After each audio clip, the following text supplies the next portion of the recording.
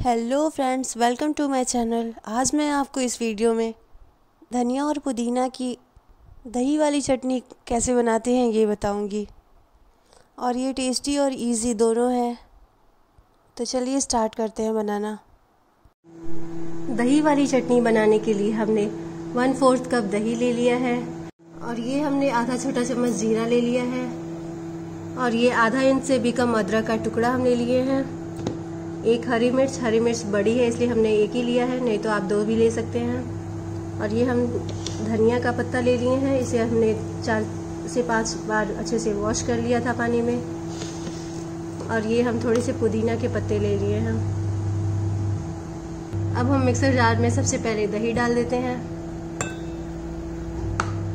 इसके बाद हम इसमें ज़ीरा डाल देते हैं। अब हम इसमें पुदीना के पत्ते डाल देंगे, हरा धनिया डाल देंगे, अदरक डाल देंगे, और ये हरी मिर्च डाल देते हैं। अब हम इसमें टेस्ट के अकॉर्डिंग नमक डाल देते हैं।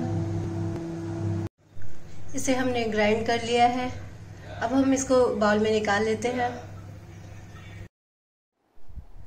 ये देखिए, हमारी दही वाली चटनी रेडी हो चुकी है। ये टेस्ट में बहुत ही अच्छा है। और इसे हम बहुत ही आसान तरीके से बना सकते हैं। तो अगर ये हमारी रेसिपी आपको पसंद आती है तो आप इसे ज़रूर ट्राई करें और हमारे इस चैनल को लाइक शेयर एंड सब्सक्राइब करना ना भूलें।